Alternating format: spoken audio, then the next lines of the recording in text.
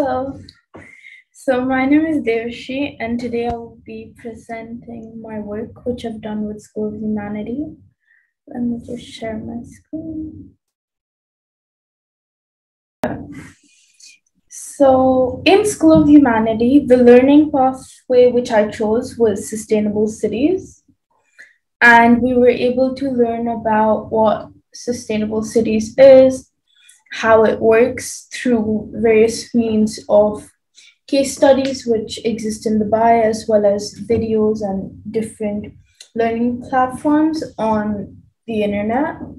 And we learned that sustainable city is essentially a city which has environmental, social, and economical aspects of living, as long as the coherency with each other is relevant.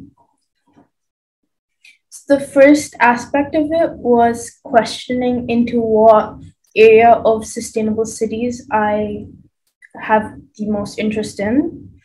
So I started this off with just listing down a bunch of questions which I had about sustainable city and I divided them into the group of the type of sustainability they are in.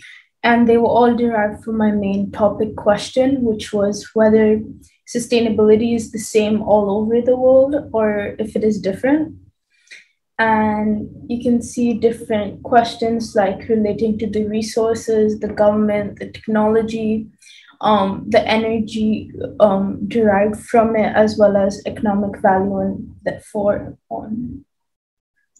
So these are two methods of analysis which we learned.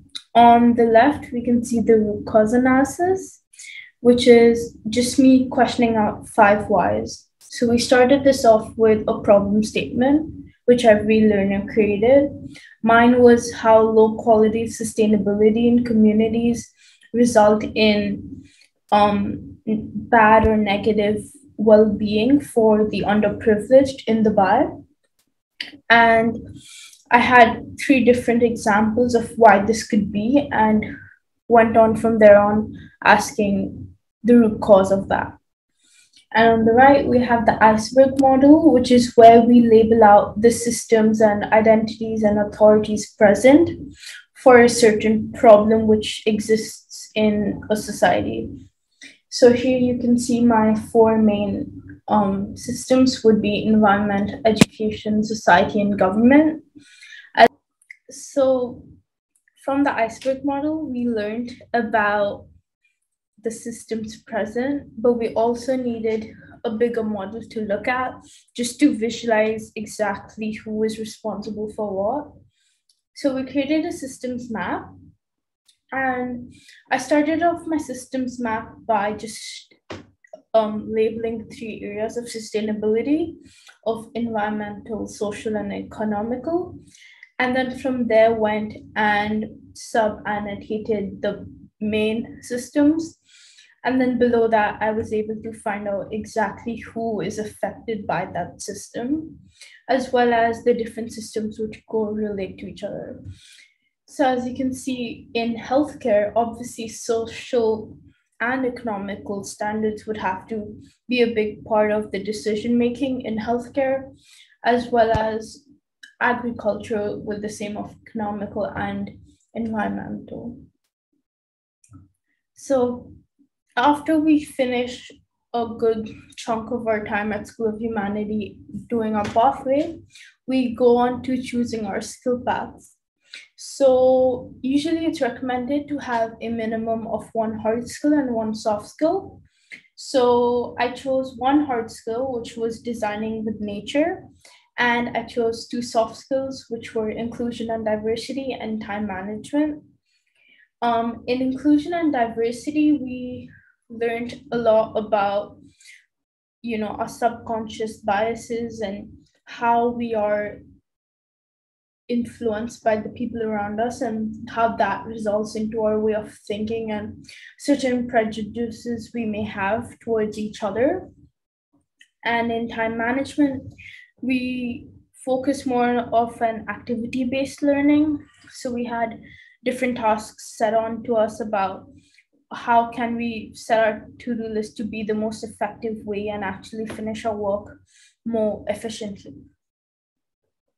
So in designing with nature, which is also known as biomimicry, we mainly focused on how that influences design. So biomimicry could be seen as design being inspired from nature, whether that, whether that is in design, technologies, innovations. We learned three main case studies, which we were expected to extract information from. Um, these are just two of them. So the first one is the neural networks, which is just a processing information um, theory. This can be seen through machine learning and algorithms in devices or just normal neural networks in our brains. And on the right, we have mushroom packaging, which I think we all know how much waste packaging creates especially the bad effect it has on the environment. And this is an innovation which was inspired from just the the hierarchy of mushrooms, what they have in their DNA, and being able to actually create a usable and efficient um, packaging from that.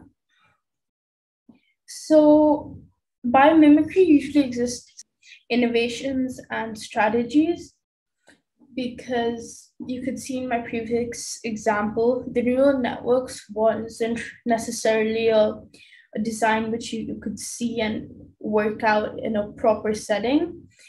But the mushroom packaging wasn't a theoretical design. So there are two aspects of it. And we learned this through functions and strategies in nature. So we had different organisms which exist, as well as the different strategies and functions they use in terms of biomimicry. So just some examples here to run up on are the two hump camel, which stores its nutrition in its humps to preserve energy. Um, the desert beetle, which uses its wing covers to capture liquid to store it for later. And rather than looking at just a visual rather a psychological world designing with nature allows us to focus on learning from how these specific strategies meet their functions. So the biomimicry design spiral is basically something which helps us learn how different strategies have been found because obviously someone didn't just dream about them. So something which i found very interesting about the spiral is that it's never ending, which means that there isn't necessarily one step which you reach to come to a final biomimicry design. You can always evaluate and continue the cycle further on to learn even more strategies and find ways to implement that into our world which we live in now. So the design spiral starts with defining, then going on to biologizing the strategy with or the existing example which we want to implement. And then after that, we go on to discover, abstract, emulate, and then evaluate the particular example. And then we do that all over again to either come to a point which we're happy in or find a finding which we find extremely useful and effective in the world. So I found that learning at School of Humanity was extremely different from any other um, traditional learning method I found in school because rather than going into a classroom and studying from textbooks and having an exam, we learn about things we're actually interested in in an environment where we're more enthusiastic to learn more. And that is it for my presentation today.